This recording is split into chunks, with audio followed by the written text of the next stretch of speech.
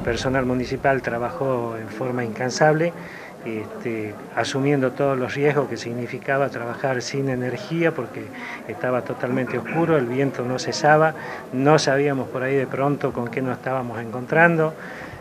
Eh, volaban chapas, volaban cartelerías, este, volaban ramas. Eh, la verdad fue una, situación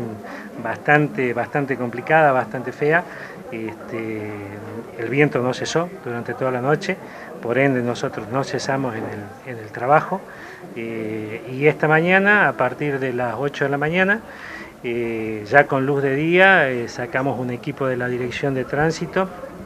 integrada por 25 motoristas para que nos hagan un relevamiento completo de la situación de la ciudad, porque si bien es cierto hemos ido trabajando sobre la contingencia anoche, este, con el correr de las horas y el hecho que no cesara el viento, este, se fueron dando casos de mayor cantidad de árboles que caían, hemos podido ir viendo situaciones riesgosas de,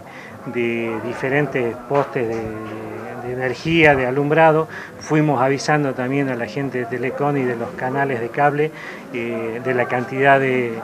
de, postes también de, esos servicios que estaban en situación de riesgo. Eh, en algunos de, los sectores había cables con electricidad en la carpeta fáltica por razones de seguridad. Este, inertizamos, sacamos de funcionamiento todas las fuentes eh, ornamentales que tenemos en los diferentes espacios verdes porque eh, detectamos una fuga de, electricidad en una de, las fuentes, en un sector de la fuente de Plaza Belgrano y por razones de seguridad y para que toda la gente de servicio eléctrico haga el trabajo correspondiente, sacamos de funcionamiento esas fuentes. Tenemos que agradecer la colaboración del RI20 que nos aportó 100 soldados y 4 camiones. Pedirle a la gente fundamentalmente paciencia porque los daños eh, son cuantiosos,